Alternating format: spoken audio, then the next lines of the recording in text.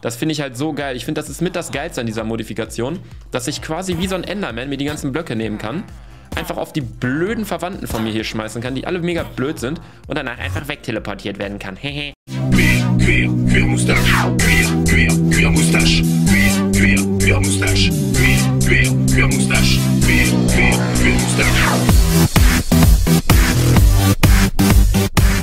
Hallöchen meine lieben Freunde und herzlich willkommen zu einer weiteren Mod-Vorstellung. Allerdings ist das heute eine etwas andere Mod-Vorstellung, weil das eine sehr, sehr, sehr, sehr große Modifikation ist und zwar die Mutant Creatures Mod.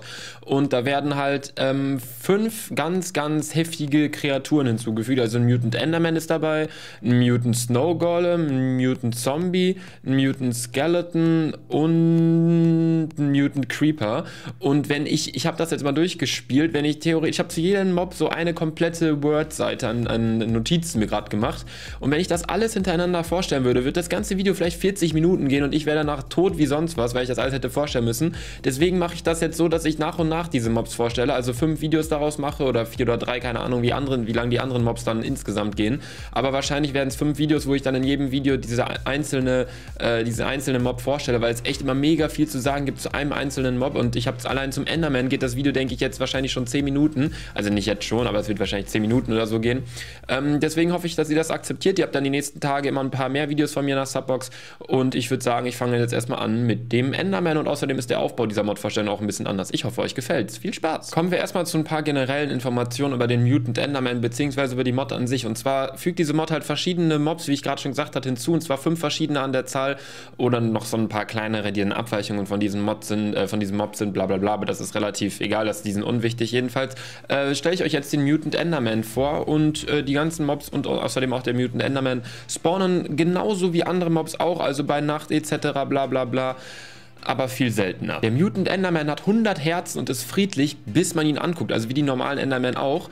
Nur wenn man ihn anguckt, dann äh, zieht der einen an und macht einen teilweise auch blind. Auch ein Unterschied zum normalen Enderman ist, dass wenn man einen Kürbis auf hat, wird er böse, anstatt dann irgendwie da irgendwie aufzuhören. Und wenn er sich teleportiert, schadet er alle Mobs um einen herum um zwei Herzen und manchmal macht er die auch blind. Also die gibt ihm diesen Blindheit-Effekt, den man dann im Inventar sieht. Kommen wir nur zur ersten Attacke dieses Mobs und zwar hat dieser Mob vier Arme und kann damit halt ganz normal wie normale Endermans auch natürlich Blöcke stehlen. Allerdings kann er mich als Spieler auch mit diesen Blöcken angreifen. Dabei machen die inneren Arme 4 Herzen Schaden und die äußeren Arme 5 Herzen Schaden und er kann außerdem die gestohlenen Blöcke, die der halt einfach so mitnimmt mit seinen Armen, so bla bla bla, kann der auf die Spieler draufwerfen und das macht 3 bis 4 Herzen bei einem direkten Treffer, also wenn der Spieler den direkt abbekommt und 2 Herzen bei einem Splash-Hit heißt das, also Splash-Treffer, das ist, wenn er den quasi vor einen wirft oder hinter einen oder links, rechts neben einen, dann bekommt man halt nur 2 Herzen Schaden. Kommen wir nun zur Clone-Taktik und zwar kann dieser Mutant Enderman 8 Minion Enderman um einen herum spawnen. Das habe ich ja schon am Anfang gesagt, dass auch noch andere Mobs hinzugefügt wurden, die aber eher unwichtig sind und nur Untermobs bzw. Unterkategorien von den eigentlichen hinzugefügten Mobs sind. Und der Mutant Enderman ist halt selber getarnt als einer von diesen acht Mutant Enderman Minion Mobs. Und zwar ist dieser Mutant Enderman halt selbst davon getarnt als einer von denen und ist halt einfach nur ein wenig größer, aber ist quasi genau gleich wie die. Während der Mutant Enderman diese ganze Clone-Attacke macht, äh, greifen die kleinen Minions einen zufällig an in zufälligen Zeitintervallen das macht immer 0,5 Herzen Schaden und die teleportieren sich auch zufällig herum. Und das Trickige bei der ganzen Sache, gibt es überhaupt das Wort Trickige? Ich weiß es gar nicht, aber das Trickige bei dieser Sache ist, dass dieser Mutant Enderman ja getarnt ist als einer von den kleinen Minions. Allerdings macht dieser Mutant Enderman drei Herzen Schaden und immer wenn der einem drei Herzen Schaden macht mit einer Attacke, wenn er halt so ein Minion ist, dann bekommt er immer noch ein geheiltes Leben dazu, also ein geheiltes Herz. Also diese ganze Attacke ist schon relativ krass, aber wenn man einfach den Mutant Enderman enttarnt und zuerst tötet, also der ist ja ein bisschen größer als die anderen Minions, äh, dann ist die Attacke halt direkt vorbei und ja. Kommen wir nun zur Telesmash-Attacke des Mutant Enderman und zwar ist der eigentlich relativ kurz zu erklären und dazu brauchen wir auch nicht viel sagen und zwar kann der Mutant Enderman auch Spieler teleportieren, also nicht nur sich selbst und zwar kann er mich dann einfach nehmen und in die Luft schleudern, so wie ihr auf dem Bild seht, was ihr gerade eingeblendet seht und das macht drei Herzen Schaden, die Attacke an sich, dann fliegt man halt durch die Luft und dann bekommt man nochmal Fallschaden, wenn man Butz auf den Boden knallt, also das kommt noch dazu. Kommen wir nun zur Scream-Attacke des Mutant Enderman, also zu Deutsch übersetzt der Schrei-Attacke. Uh, und zwar ist das auch eine weitere weitere Attacke von ihm. Und zwar äh, bekommt der Enderman Schaden im Regen, also der Mutant Enderman, sollte ich mal lieber sagen, weil bei normalen Enderman, die teleportieren sich dann halt nur wir umher. Und damit erhöht sich die Chance, dass dieser Mutant Enderman diese Scream-Attacke einsetzt. Also der kann die auch so einsetzen, aber im Regen ist die Chance höher, dass er die einsetzt. Der Scream macht, oder der Schrei, der Schrei, macht zwei Herzen Schaden und der Schaden durchdringt auch Rüstungen. Also es soll so sein, dass der Schrei quasi durch die Ohren reingeht, in das Gehör und deswegen man die Herzen Schaden bekommt. Deswegen kann da keine Rüstung gegen wirken, auch wenn man theoretisch Ohrschützer haben sollte. Ähm, außerdem stoppt der Regen, wenn denn Regen ist, während er die Attacke einsetzt. Und wenn man ganz viel Glück hat, kann man neben diesen Herzen keine weiteren Effekte davon erlangen. Also, was heißt erlangen? Bekommen, sage ich jetzt mal lieber.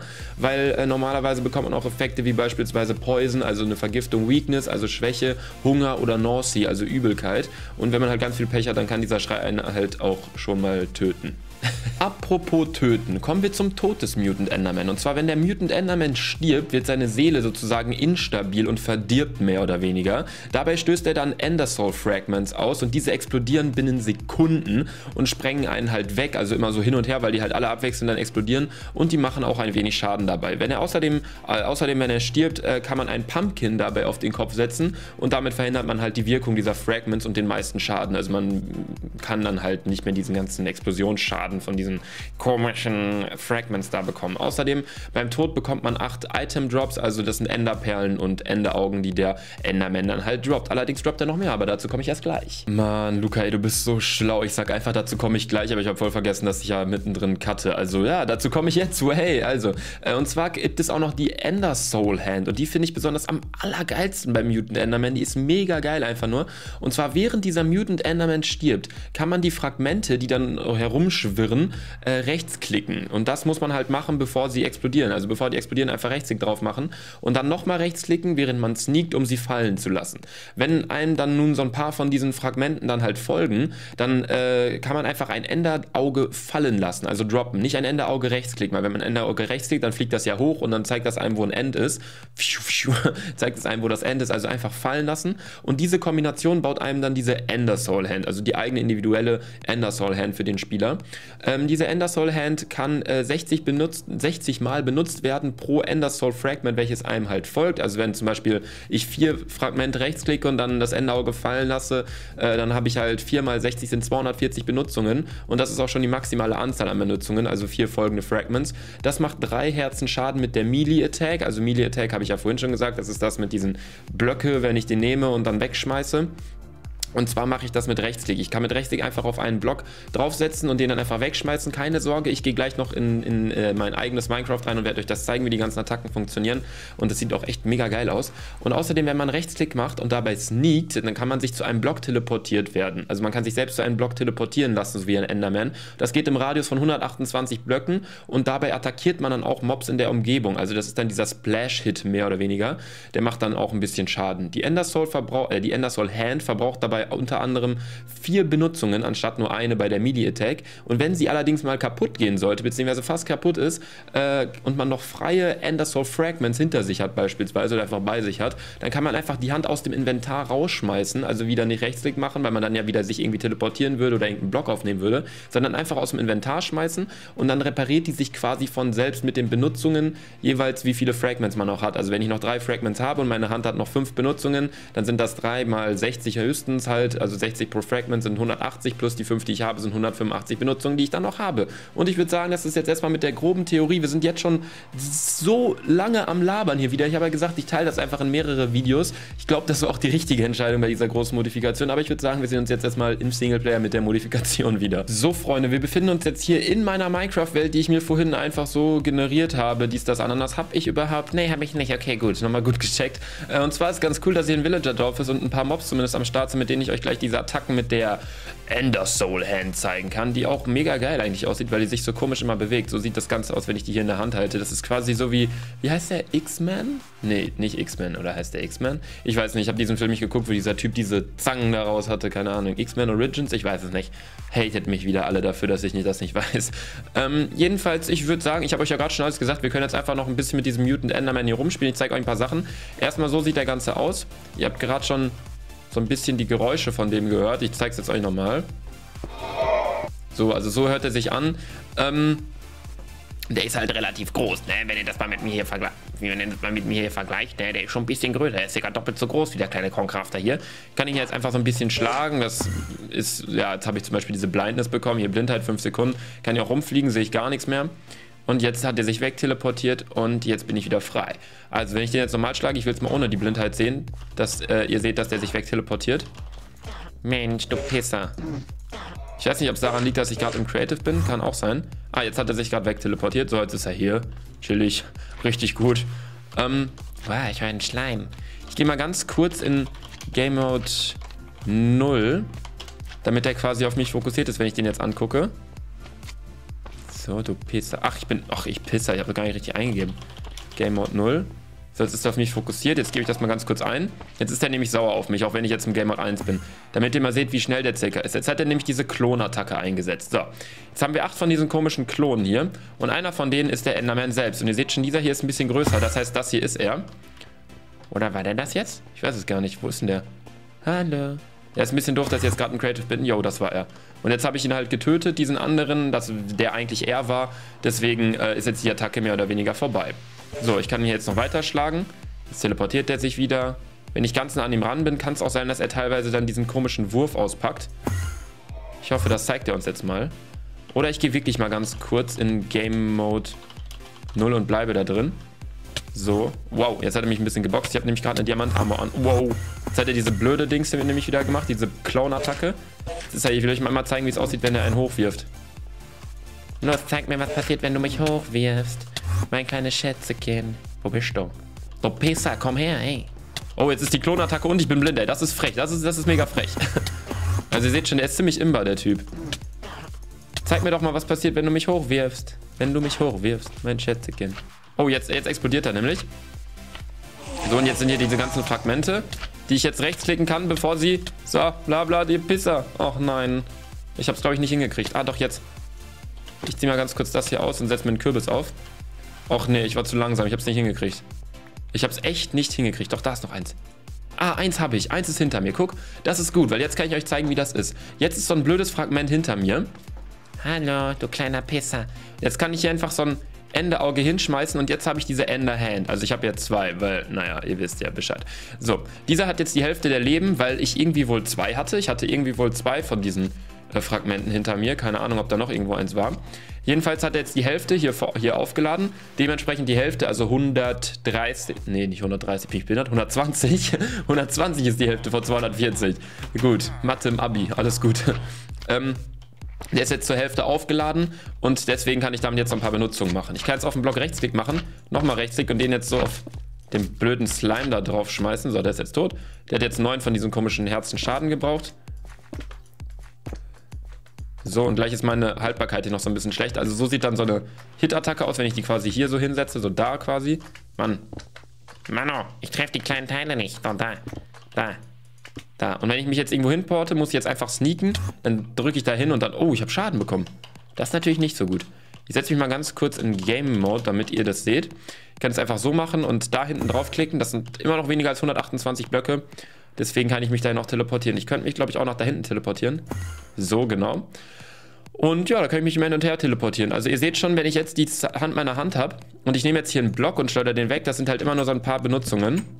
Wenn ich allerdings jetzt zum Beispiel mich nach da hinten teleportiere, gehen halt schon viel mehr Benutzungen weg. Das ist halt mega krass.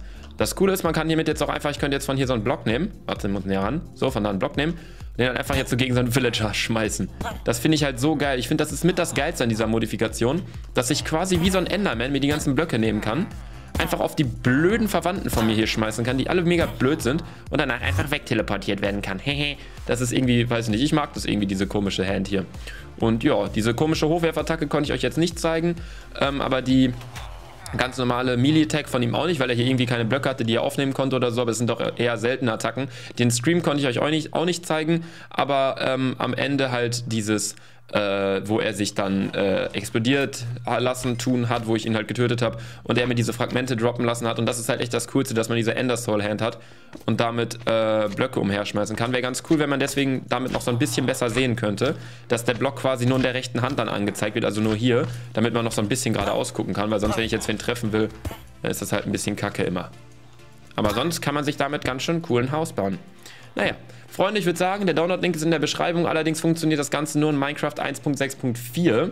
Deswegen würde ich sagen, entweder ihr datet euer Minecraft zurück, was ja mittlerweile eigentlich relativ einfach ist. Ihr braucht dafür außerdem auch Forge-Mod, aber das ist nicht so schwer zu installieren. Alles ist mega easy. Dazu gibt es 1000 Tutorials im Internet. Dazu brauche ich keins machen. Und ähm, probiert es einfach mal aus. Ist mega geil. Ähm, ich weiß nicht, ob ich morgen direkt den nächsten Mob hiervon hochlade. Also den Mutant Skeleton Mod ist es, glaube ich. Der Mob, der auch mega geil ist. Alle Mobs sind mega geil, die hinzugefügt werden. Vor allem der Creeper auch eigentlich. Snow Golem und Mutant Zombie, naja, aber ist auch chillig. Aber sonst würde ich sagen, wir sind jetzt schon lange über 10 Minuten. Oder ich weiß gar nicht, ich glaube, wir sind über 10 Minuten schon. Deswegen war es eigentlich ganz gut, dass ich das Ganze hier habe äh, jetzt in mehrere Parts teilen lassen. Und ich würde sagen, jetzt kommen wir wie immer zum Ende einer Mod-Vorstellung, bla bla. Und zwar äh, zum geheimnisvollen Geräusch. Letztes Mal war es das hier, was ich fallen gelassen habe. Das hier, so ein kleiner Schlüssel von meinem Fenster von Schüko ist der, chillig. Äh, und zwar meinte Tom Schröder ein Schlüssel, der fällt. Und das war der Erste, der das geschrieben hat. Das war nämlich drei Minuten oder so, nachdem das Video online war. Und zwar hört euch es nochmal an. Einige dachten, das sei Geld gewesen. Das haben die meisten gedacht. Und einige so, ja, das war Geld, das ist doch mega einfach hier. Nein, es war ein Schlüssel. Naja, gut, Freunde. Was habe ich denn hier sonst noch so als Geräusch? Ah, das ist interessant. Mal schauen, ob ihr das rauskriegt. So, das wird keiner rauskriegen, denke ich. Wenn das einer rauskriegt, dann ist man echt gut in dem Spiel. Und zwar das hier. Das hört sich mega doof an. Das kann man, glaube ich, gar nicht rauskriegen.